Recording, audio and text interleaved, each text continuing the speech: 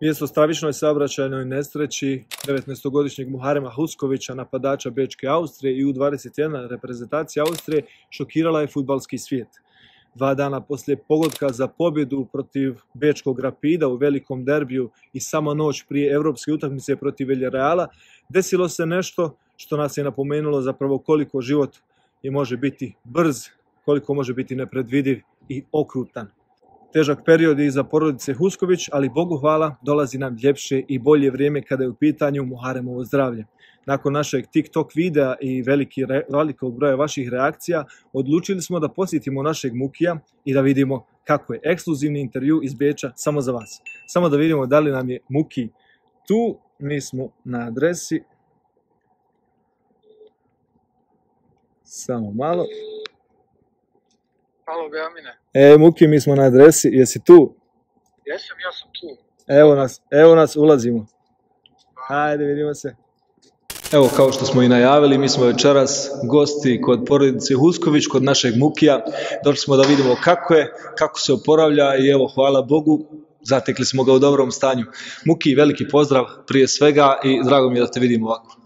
Hvala i tebi na poziv i za ovaj intervju i radujem se mnogo na pitanje. Hvala ti. Uh, Muki, evo, uh, da, da evociramo uspomene kako je to zapravo bilo, evo zaista jedan, jedan šok u futbalskom svijetu. Uh, šta je, kako, kako je tako tog dana, kako je išla situacija i šta je posljednje čega se sjećaš tog dana? A, ja sam sjećam da, smo, da mi je cura i ja sjeli smo auto i krenuli prema meni, a bio sam tada u Matarsku, trebao sam ići puno oko baba i mame i od tog momenta ja se ne sjećam ništa. Sljedeći dan sam se probudio u bolnici i ja sam samo rekao da imam danas utakmicu, mislio da mi nije ništa i tako. Da su mi odmah rekli doktori da je bio udes tu i ja u taj moment nisam ništa vjerovao. No. Meni je sve bilo samo ovako, no, nisam mogao noge da, a, da i kako se zove, da i sve mi je bilo nekako ovako malo, bio sam skroz bunjen, ali nisam nikako mogao vjerovati da sam imao udes. Da, to je e, prethodilo i tome sjajna partija protiv Beškog Rapida, kao što sam ispomenuo u najavi, tvoj pogodak za pobjedu, čekala te velika noć, evropska utakmica protiv Villareala, a onda kao što smo rekli šok, ali evo što je najvažnije, hvala Bogu ti se oporavljaš, vrijedno treniraš, je li tako? Da, treniram svaki dan u klubu, jedan dio radim u džimu, radim već noge i gore radim gonjem, gonjem šić, i jedan dio radim kako se zove na masaže, na masaže i tako ide, hvala Bog, dobro do sad i molim Boga da ide tako dalje i na dobrom putu. Svaka čast tako Bog da i bit će, bit će to i bolje nego što smo mi planirali. Bila je to zaista jedna teška situacija, evo prije toga utakmica protiv Rapida, tvoj pogodak koji je odlučio pobjednika, dočekivala se utakmica protiv Villarreala gdje si trebao biti starter i mnoge nade su polagane u tebe i onda se jednostavno desilo to što se desilo i nakon toga je uslijedilo zaista veliki broj pitanja meni koji nije s tobom u srodstvu, tvoje kolege iz reprezentacije, e, reprezentativci Bosne i Hercegovine, kolege novinari i ono što bi ovim putem htio da kažem stvarno da me fascinirala smirenost tvojih roditelja, tvoga oca posebno s kojim sam bio svakodnevno u kontaktu, čovjek je jednostavno toliko bio smiren i priseban u toj situaciji i, sigurno su ti oni dali mnogo snage. Da, dali su puno snage i babo i mama su uvijek bili iznad mene. I nakon udesa nije važno sada jer uvijek su bili a, a, za, za usmene i tako uvijek su mi pomagali u mojoj karijeri i sada su mi dosta pomogli i hvala Bogu šta, šta imam i šta mi toliko pomažu i da. Da, tako je, to je pravo razmišljanje. E, kada smo kod, kod snage i podrške, e, vredi istaći stvarno, evo Muki, zaista jedna teška situacija i za tebe, ali je ova situacija u kojoj si zapravo mogao vidjeti koliko si voljen i koliko si cijenjen.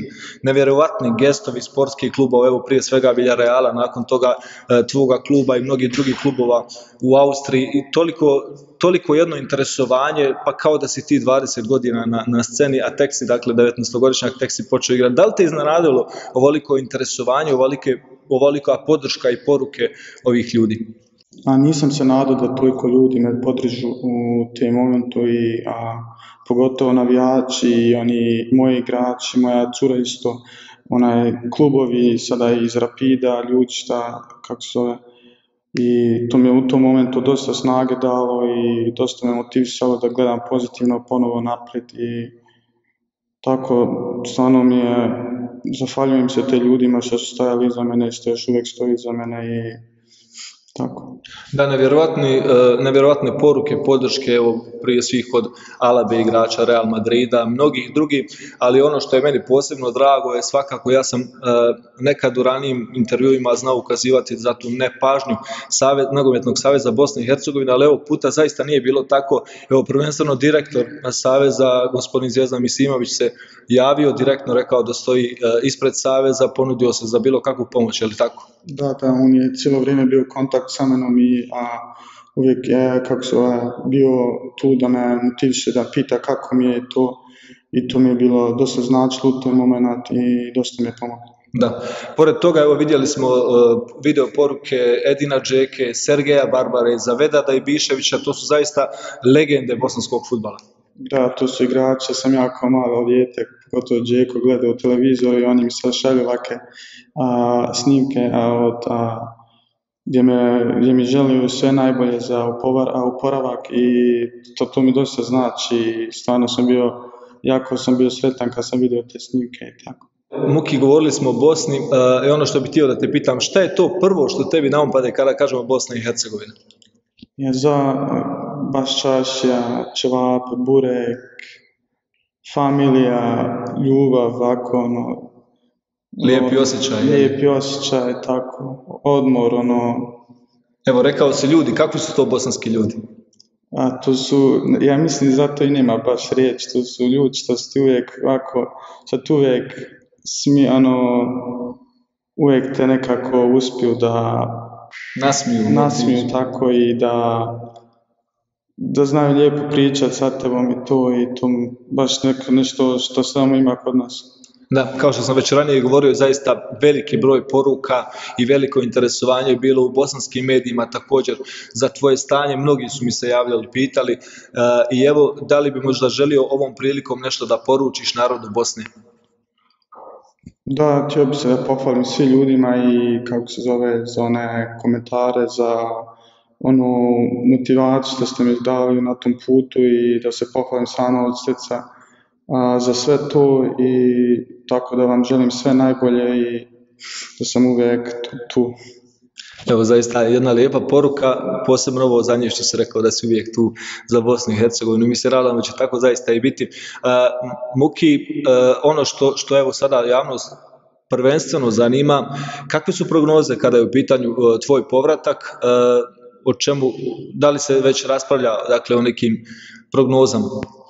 je pitanje sada što su oba dva koljena, a, kako se zove, a, povređeni, to će biti malo problematika u tom procesu, ali negdje oko marta i juna treba bi da se vratim, ja sam sebi rekao da ću da se vratim do 18. marta, tada imam, mislim, derbi u Rapidu, tu sam zadnju utakmicu igrao, htio bi sada ponovo prvu da je počnem tu i tu mi je sada tako u tom mjestu cilja i taj proces, sada ćemo vidjeti kako će to sve biti, to su svake sedmice, hvala Bogu, ide, ide nabolje i ako tako ide dalje, ja mislim da bi to moglo funkcionisati. Da, hvala Bogu, evo nakon, nakon tih šokantnih vijesti mi zaista nismo mogli očekivati da će ovaj proces uporavka ići ovako brzo, ali hvala Bogu ide i evo mi ti od srca želimo da, da bude još, još brže nego što i iz ove perspektive možemo zamisliti. Evo Muki, govorili smo o tvom povratku ako Bog da, i, i, ali evo ti si već imao priliku izaći pred pun stadion ovdje u Beču i publika te nevjerovatno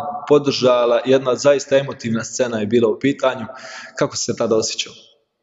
A to je jedan, bio je baš jedan emocionalan moment za mene, pogotovo kad sam prvi korak radio na teren i već mi je lagano suzeve došli u vice, tako da mi je bilo baš ono, nije mi bio tako lijep moment zato što mi je malo u srcu bolilo da gledam moje igrače kako treniraju to i da ja to trenutno ne možem i tako da je, ali bilo je baš lijepo onda vidjeti kako oni fanovi svi stoju iza mene i kako, kako se već radio na moj comeback.